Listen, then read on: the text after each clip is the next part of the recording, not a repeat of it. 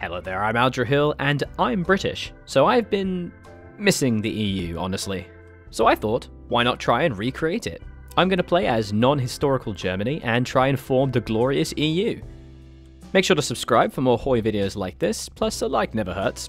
One like equals one vote for another referendum? My start is pretty boring. Just go down the opposed mustache man as normal. I'm not going to focus on that too much, as you know, you just put armies in the front and snake. Easy stuff. Repair everything, fix my country, and then start getting ready for uniting Europe. Of course, as this is non historical, weird janky things begin to happen and will continue to happen. At least Russia is staying pretty boring.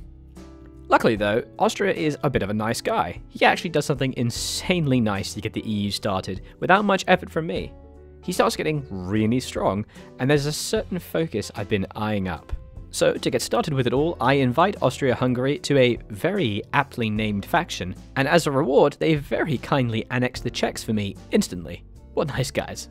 I start getting a little bit worried about the exact sequence of events if I try and force puppet them, so after a little bit of digging through the event files, I realize that I am in for some incredible luck, other than the fact that someone in my stream starts calling me middle-aged. I'm not even 30 yet. The world then starts to go a bit mental, with Yugoslavia and Romania joining the Allies just when I was hoping to invite Romania into the fold. And this sort of begins World War II a bit early, all I watch from the sidelines and just quietly try to build planes. I don't care though, because the massive and powerful Austro-Hungarian Empire just sort of goes, yeah, okay, and becomes my puppet. Basically, I was still able to do the satellite Hungary focus, because technically what has happened is that Hungary annexed Austria and then Czechoslovakia. Their tag remains Hun, and so they will automatically accept and agree to my puppeting them through the focus. What's even better is that they're a proper satellite. Because I'm playing as Democratic Germany, any puppets I make are garbage supervised states, which are useless to me. But this focus ignores that requirement entirely, meaning I get an insanely powerful puppet that is actually bigger than me, and is forced to give up about 75% of its factories and 100% of its manpower. Now it's just time to dismantle my perfectly named faction and realize that I can't join the Allies because, world tension isn't 80% yet, despite all the horrors going on in the world. After a little wait, though, they let me in, and I consider maybe taking over the faction myself, but sadly it just costs too much. Also, I randomly put my camera on for some reason, probably just to show off my wife's cheese shortbread she made for me. Then it was time to create the Central European Alliance and see what I could do with it. But first, it was time to actually start helping the Allies a little bit, in the hope that I could steal some land, so I joined this weird war fighting against Italy. I snake around, encircling, and pushing easily, and I end up actually taking all of northern Italy, Latium, and whatever else I can get my sauerkraut riddled hands on, while the AI irritatingly puppets everyone and their Italian grandmother as well. A little while later, I realized that I will actually never be able to take over leadership of the Allies, because the Brits just have too much damn manpower, so I just leave the Allies to it and yeet off. I then invite Belgium and Luxembourg to our new and improved faction, the Central European Alliance. Then, with a little bit of improved relations, guarantee independence, and a few kind words, I get Norway and Sweden in as well. In the midst of it though, the UK attacks the Netherlands, who then promptly join our faction, allowing us to fight the Allies very suddenly, which means the French have not guarded their borders and I waltz through the Maginot Line. Plus, Iraq and Iran want to join as well for some reason. First though, we have to fight other allies such as Yugoslavia, so we take all of Austria's troops and form a front line. Weirdly, Bulgaria also wants to join the faction, and then almost immediately leave it again for some reason. Ah, uh, what? They left? We snake a bit into France, and then they die, giving it all to us. The Franco-British Union then weirdly forms for some reason, but it doesn't matter because I now dominate Europe.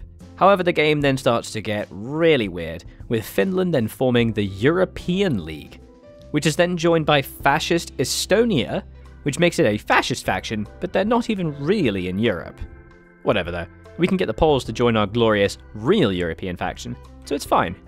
After a few mistakes, where I realise I haven't been taking a vital railway, massively slowing down the entire Yugoslav front, plus losing like half of my submarine fleet in a really dumb move, I eventually get my act together and start properly hitting Romania and Yugoslavia, crushing them. I then turn my attention to England, who are the only major power left, but I just can't get naval superiority. After a few months of port raiding and just trying to figure things out, the enemy fleet just goes somewhere else and disappears, so I get all superiority I need and I just land my entire army there. Within about 15 seconds, I'm in London and knocking at Birmingham's gates as well. It's pretty weird. But then the weirdly named Franco British Union is gone.